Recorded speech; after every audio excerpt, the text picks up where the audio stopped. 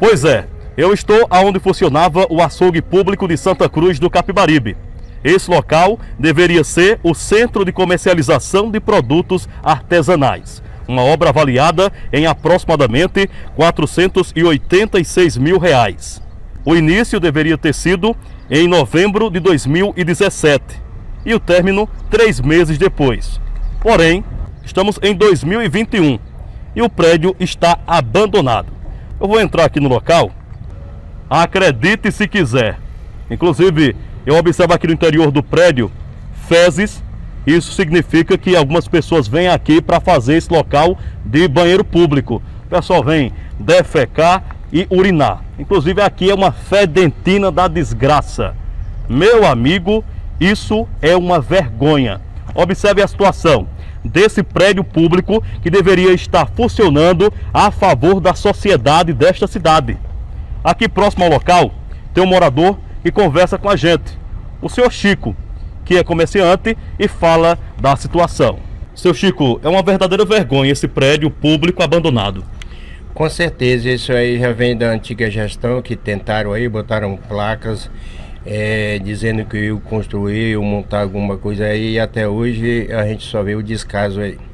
Inclusive o local seria um centro de comercialização de produtos artesanais. Isso. Porém até hoje a obra não foi concluída. Isso, isso aí é que tem na placa que está aí valores que eu construí, eu é, passar para o pessoal de artesanato, artesão e até hoje só continua sendo destruído, é local acompanhado por vândalos pessoas que a gente não conhece chegam aí, ficam dias aí amutinado aí dentro sem a gente saber que, o que eles estão fazendo.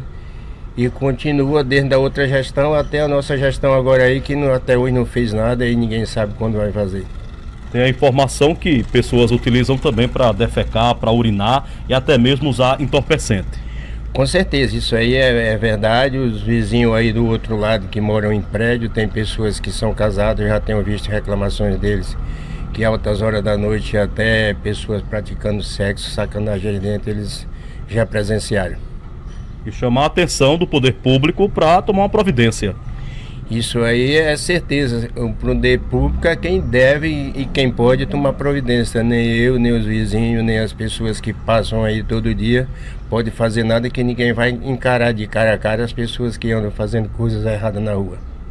Então tá aí, as informações em relação a esse prédio público abandonado aqui em Santa Cruz do Capibaribe. Com imagens de Eduardo Brito, J. Lima, o comunicador da verdade. Nós entramos em contato com a Prefeitura de Santa Cruz do Capibaribe e, através de nota, a Prefeitura disse que, com relação às obras de paralisação, ou a paralisação das obras, é, no Centro de Comércio de Produtos Artesanais, o antigo açougue, a Prefeitura de Santa Cruz do Capibaribe informa que a obra foi judicializada devido às irregularidades encontradas na execução da mesma. O município só poderá tocar a obra quando houver uma decisão judicial. Em maio de 2020, a Caixa Econômica Federal notificou o município para corrigir as irregularidades encontradas, que não foram solucionadas até janeiro deste ano, diz a nota. Quando a nova gestão assumiu, foi realizada uma vistoria com uma equipe técnica e observado que o melhor caminho seria judicializar a obra, uma vez que a própria Caixa Econômica havia apontado irregularidades e solicitado a regularização das mesmas, que não teriam sido atendidas. Diante disso, a Prefeitura de Santa Cruz do Capibaribe segue impossibilitada de dar continuidade aos trabalhos e aguardando a decisão judicial. A Prefeitura, bom, assina a nota, né? Prefeitura de Santa Cruz do Capibaribe, assim recebemos a nota do governo municipal sobre essa situação.